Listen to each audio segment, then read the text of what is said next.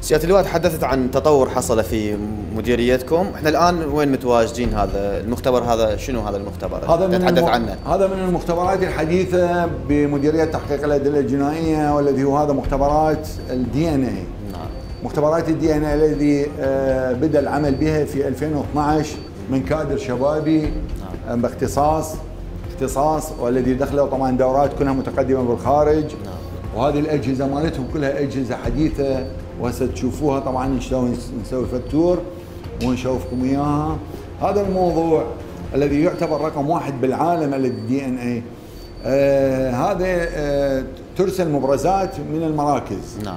آه مبرزات عينة أو دم أو شعر أو تجي هنا بهذه الأجهزة الحديثة وبهذه الأجهزة العلمية ينطيك إنه العائدية مالتها. نعم. كل حسب طبعا أنا بالنسبة لي رجل اختصاص نعم. واؤمن بالاختصاص فأنا من أحكي لك أحكي لك فد شيء عام نعم. أما الاختصاص مالتنا يعني زين سياده اللواء إحنا كنا قبل نعمل فقط في نظام البصمة، الآن وين وصلنا؟ وصلنا للدي ان اي ووصلنا بعد أي الأدلة الجنائية بالعالم هي كلها نفس الموضوع نعم بس ال- التطور بالأدلة الجنائية يصير بالعالم الذي هو علوم الأدلة الجنائية نعم.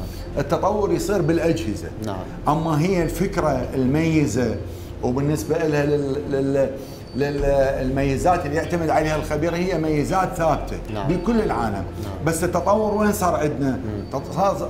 التطور عندنا من خلال الكادر الذي دخل دورات بالخارج نعم. ومن خلال الأجهزة مالتنا الحديثة يعني سابقا كنا نعمل بنفس ال DNA وغيرها من البصمات ال- بس اللي طور عندنا فقط الأجهزة علما علم ال DNA دخل عندنا كجنائي نعم. لأن كان الأدلة كانت الأدلة الجنائية قبل ال 2012 آه، ماكو DNA نعم. ال DNA يستخدم بالطب العادي نعم. زين بس بال 2012 بعد ال 2012 وعندما صارت عندنا هذه الأجهزة وما شاء الله عندنا شباب حلوة تشتغل بهذا الموضوع اللي شباب اختصاص نعم. زين ودورات تدخلوها هسه إحنا بدينا ننطي الآراء الفنية بال بال DNA الذي إحنا هسه قاعدين نستخدمها ال DNA الجنائي طيب يعني كيف أسهم هذا الموضوع في تطوير عملكم؟ ساهمتوا في كشف آه، جرائم معينة هذا من خلال دخول هذه الأجهزة؟ هذا الموضوع نعم. موضوع ال DNA موضوع جدا مهم نعم. ليش؟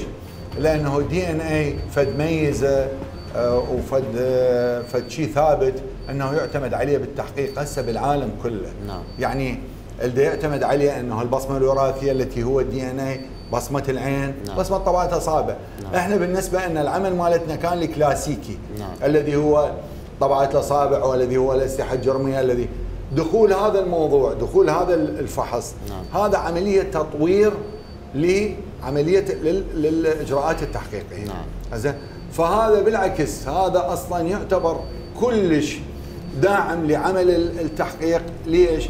لأن البصمة الوراثية هي ثوابت نعم.